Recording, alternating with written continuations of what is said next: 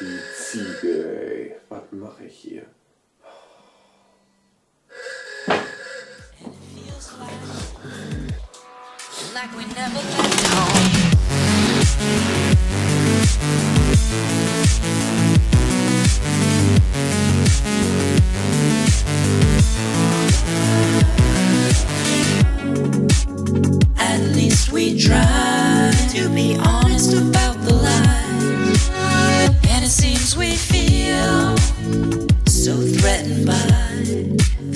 Faces that we've never seen before. And it feels like like we never left home.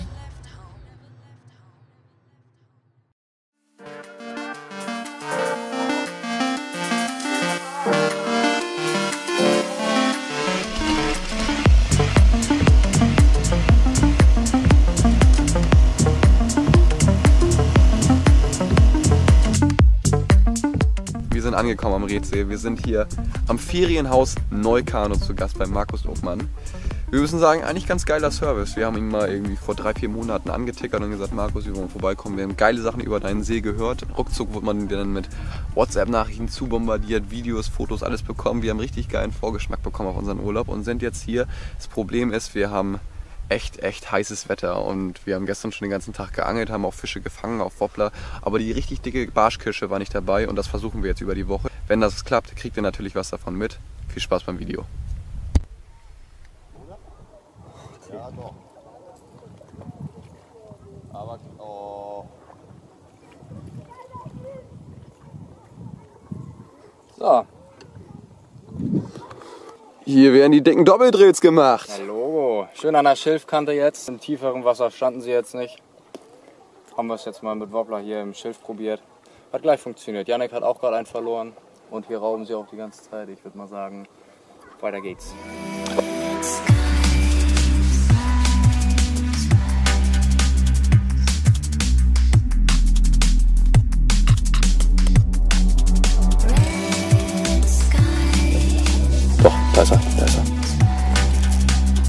Da ist das Ding.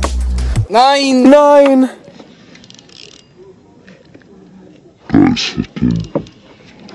Nein! Nein! Scheiße, das war der große. Oh. Jetzt ist genau das passiert, was nicht passieren durfte. Wir haben unsere Taktik so geändert, dass wir am Ufer hier irgendwie die Schilfkanten mit Wobbler abangeln, weil an den Barschbergen gar nichts geht im Moment zur Mittagszeit und es ist allgemein den ganzen Tag über heiß. Ging ganz gut auf, wir haben ein paar coole Barsche gezockt, hat einen kleinen Hecht und dann haben wir irgendwann ja die Idee gehabt, komm, haben wir die GoPro ins Wasser. Ich weiß gar nicht, ob man das auf der GoPro sehen konnte, also da sind welche hinterhergekommen teilweise. Und einmal hatte ich auch einen Fisch, den ich halt gehakt habe, einen Lüttenfisch und da kam halt ein großer Barsch noch hinterher, der halt gesehen hat, okay, mein Kamerad hat jetzt hier gerade einen Beutefisch. Und dieser Barsch war echt ziemlich, ziemlich groß. Äh, so sah jedenfalls von oben aus. Und ich habe gesagt, Jojo, hast du ihn gesehen? Er hat ihn nicht gesehen, weil er natürlich die GoPro in der Hand hatte. Ich weiß nicht, ob es auf, der GoPro überhaupt irgendwas erkennbar war. Das Wasser ist hier relativ klar, also ich kann mir vorstellen, dass ihr was gesehen habt. Ende der Geschichte war auf jeden Fall, dass Jojo dann nochmal mit äh, Gummifisch alles abgeworfen hat da und äh, genau den Barsch wahrscheinlich nochmal gehakt hat. Der war ziemlich groß. Und ja, leider ist er ausgeschlitzt. Das wäre schon mal eine große Kirsche gewesen, wäre eine geile Story gewesen für unser Video. So ist jetzt eine, eine Scheiß-Story, aber hier war jetzt ein bisschen was passiert. Ne? Wir angeln jetzt hier weiter die Schilfkante ab, bis wir hinten in diesen Flachwasserbereich kommen mit unserem E-Motor. Sind wir natürlich ein bisschen eingeschränkt aufgrund der Geschwindigkeit. Ähm, aber ich denke mal, so haben wir die besten Chancen, dass wir ausgiebig irgendwie das Areal hier abangeln und noch irgendwas klappt. Leute, wir halten euch auf dem Laufenden.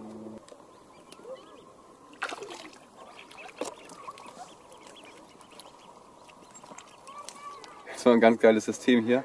Popper, Fluorocarbon dran und dann ein kleinen Cupido mit Gewicht sogar noch, damit der Popper ein bisschen schwerer ist. Ah, Jojo hat mir den Tipp gegeben, ach Finn, mach diesen scheiß Popper ran, den du letztens gebaut hast, mit dem Konstrukt. 30 Sekunden, die der Popper auf dem Wasser war und da hing der Fisch schon.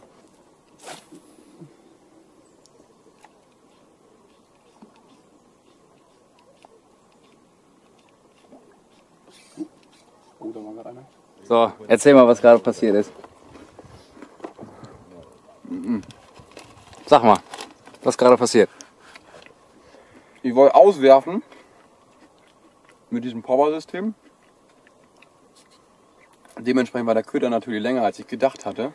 Und mich beim Auswerfen in dieser blöden Route hier verheddert. Wie auch immer die gehört, weiß ich auch nicht. Und äh, das Blöde ist, dass an dieser blöden Route auch noch mein Pointer dran hing. Und natürlich das ganze Vorfach hier abgerissen ist an der, an der Route. Und der Pointer jetzt irgendwo hier im schwimmt. Also, Rätsel ist die Adresse, wo ihr hin müsst. Hier findet ihr sogar Pointer im Wasser. So, liebe Leute, wir haben ja am Anfang des Urlaubs gesagt, wir pranken die. Hier ist er. Ich habe ihn vorher abgemacht. Mega stark! ja! wusstest du das echt nicht? Nee, ich dachte, der hing da echt noch dran. Aber das war ja wirklich so, vor allen Dingen, weil diese Schnur ja auch so abgerissen Ich habe so ausgeworfen, aber so rums, rums die ganze Route hier aus dem Halter. Guckst du nach hinten, Da ist Schnur, er. Schnur abgerissen, alles. Das so, hä? Ja gut, ist ja nicht meine Route, juckt mich ja nicht. Das Problem ist, ich habe ja vorher meinen Wobbler da bei ihm rangehängt. Nein, mega stark, mega stark, echt gut, sauber. Aber du, du jetzt, ohne Scheiß, jetzt ist die Prank-Season eröffnet hier, jetzt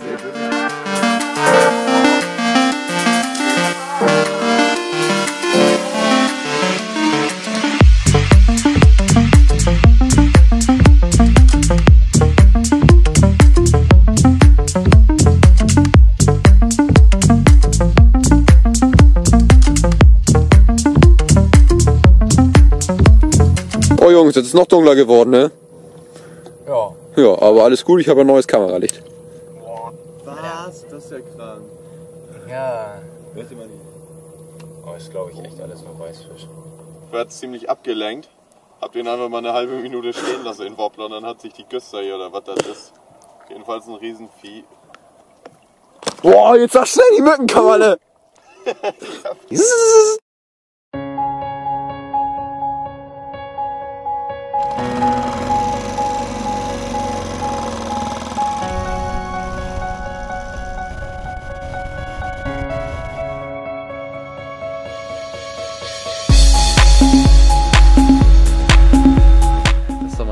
Barsch. Wir haben eine ganze Zeit mit Gummi gefischt, jetzt einen Wobbler drauf gemacht. Und da hängt auch schon ein schöner Barsch. Sauber.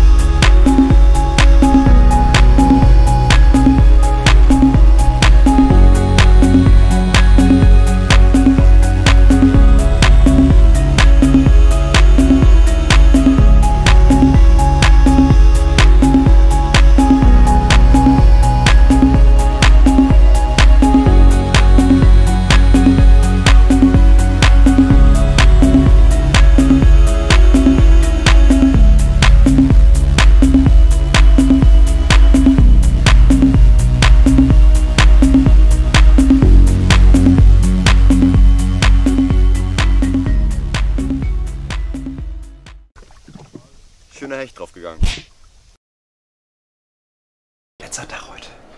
Wir haben uns mal was Gutes überlegt. Ich wurde ja schon geprankt. Jetzt beim Wobbler. Jetzt wollen wir Janik nochmal pranken. Ich muss leise reden. Die Jungs frühstücken gerade draußen. Die lecken Janik ab. Ich habe mir gerade schnell gesagt, ich gehe auf Toilette. Hab Eine Box geholt. Wir haben zwei Rollen Panzertape. Richtig geil. Wir wollen seine ganze Box zu tapen, sodass er heute nicht angeln kann. Wir nehmen jetzt also die Box, tapen die ein und äh, dann sagen, findet er halt seine Box nicht und dann wird es auch nicht Alarm geben. Das wird lustig.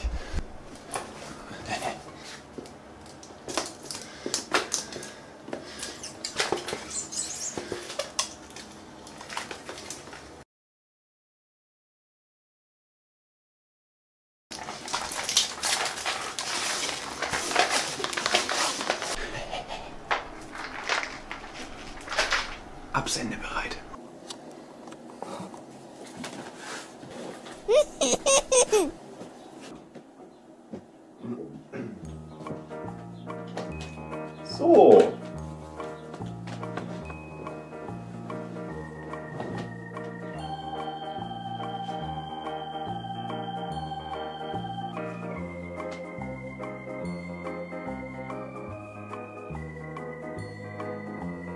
Aber warum sollte man sie wieder da rausnehmen? Ich weiß nicht, wo du hingesagt hast. Jojo, Fidjof, wisst ihr, wo ihr ist?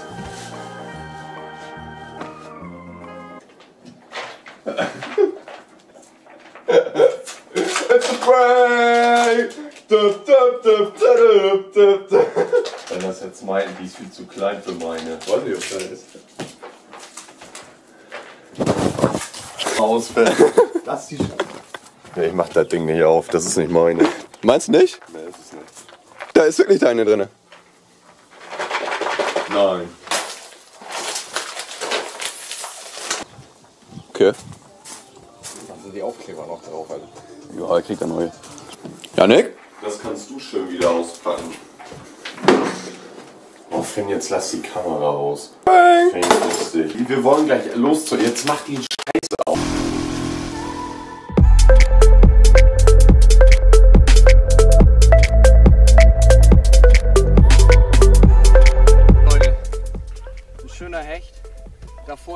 jetzt so ein Güsterschwarm ist hier.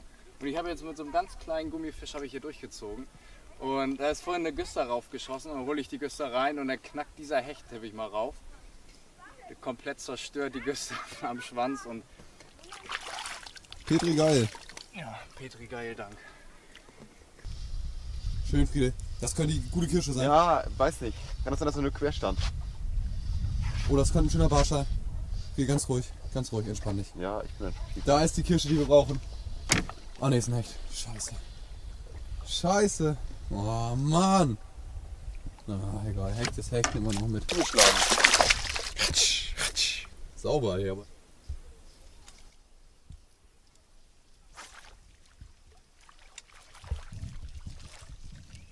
So. Ganzen Lütten. Leute, hier ist gerade harte Topwater-Action. Ich glaube, ich mache jetzt auch mal schnell einen Popper rauf, weil irgendwie die Jungs hier jeden Wurf einen dicken Topwater sind dick, aber ein paar Topwater-Fische fangen. Und Topwater ist ja nur geil, deswegen Attacke jetzt.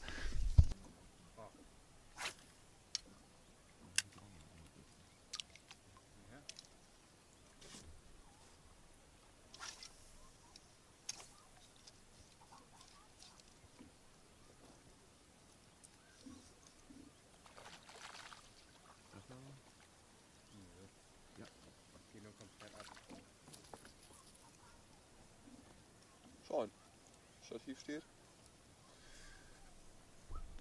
Endlich mal gutes GoPro.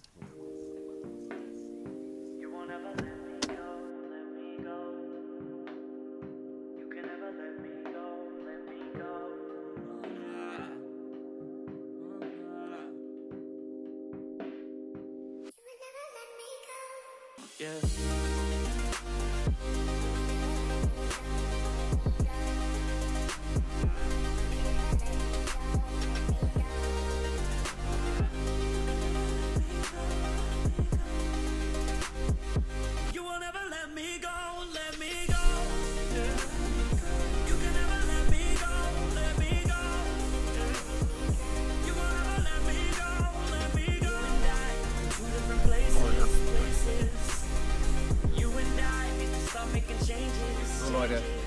Topwater, mein letzter Wurf für diesen Urlaub. Mega cooler Abschluss. Hat richtig Spaß gemacht. Unser Tag ist zu Ende. Unser letzter Tag am Redsee äh, war Hammer. Wir haben Hechte gefangen, wir haben Barsche gefangen. Jetzt haben wir gerade noch Topwater-Barsche gefangen. Die Jungs sind da immer noch am Angeln. Es war super cool. Ich denke, äh, als Wochenfazit, wir sind jetzt fertig oder heute war der letzte Tag, den wir gefischt haben, äh, kann man sagen, dass es ziemlich, ziemlich geil hier waren. Wir wurden gut ausgestattet, haben hier eine gute Unterkunft bekommen. Ein Boot haben wir, ein Boot, was fährt. Wir haben einen schönen Außenborder gehabt. Wir haben einen E-Motor, der lief auch sehr gut. Ich weiß gar nicht, was ist überhaupt für einer? Grauwell. Ja, lief auf jeden Fall sehr, sehr gut, muss ich sagen. Ich habe echt am Anfang gedacht, hm, aber jetzt so über die Woche, muss ich echt sagen, war das echt Luxus mit so einem E-Motor und der hat sich echt gut getan. Batterie hat durch, gut, gut durchgehalten und der Trip war allgemein super, super cool. Also hier am Rezi sind echt tolle Fische. Wir hatten den einen oder anderen dicken Fisch, äh, schöne dicke Barsche. Yannick hat einen dicken Barsch gefangen, äh, wo die Windaufnahmen oder die Tonaufnahmen leider nicht so gut waren, wo viel Wind drauf war, aber der Barsch war wie gesagt draußen. Jojo hat einen dicken, dicken Barsch verloren. Ich muss sagen, ich habe diese Woche eher so ein bisschen gefilmt, äh, nicht so viel, na, ich habe schon geangelt, aber irgendwie nicht so gut ge- gefangen wie die anderen. Trotzdem hatte ich sehr viel Spaß. Ich habe noch eine neue Route zugelegt für einen Trip extra und äh, mit der hat das echt Spaß gebracht, weil das so ein Mittelding ist zwischen einer leichten Route, also eine leichte Spitze und äh, trotzdem noch ein schönes Wurfgewicht, wenn man da einen Gummifisch mal ranmachen möchte am Barschberg oder so. Also das hat auf jeden Fall sehr viel Spaß gebracht. Kann ich gut empfehlen, dass man nochmal für einen Trip, wenn man hier irgendwie tiefere Gewässer abfischt, mal irgendwie kann oder so, dass man so ein Mittelding zwischen weicher Route und harter Route findet. Abschließend äh, ein Besuch wert der Rezi hier und äh, als Adresse kann ich euch natürlich nur die von Markus empfehlen, weil wir hier bestens ausgestattet wurden für die Woche. Und ich muss echt sagen, Tiefenkarte, alles bekommen, allerbest. Adresse packe ich euch mal unten in die Beschreibung beziehungsweise den Link zur Website. Karten, Angelkarten könnt ihr auch im Internet bestellen, die bezahlt ihr dann über PayPal und könnt euch direkt die ausdrucken. Ja, in diesem Sinne, Jungs, sagt Tschüss zu den Leuten. Haut rein. Friedhof ist auch amüsiert hier am Angeln. tschüssi, tschüssi. Wir sehen uns im nächsten Video. Macht's gut, Freunde.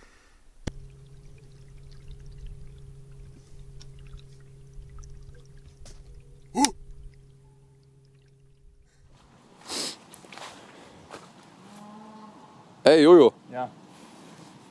Was los? siehst du Janik demnächst irgendwann? Möglich. Warum? Ich habe doch seine Box kaputt gemacht im Urlaub. Die Aufkleber sind alle ab nach dem Prank. Weiß ich. Ich bin ja kein Unmensch, ne?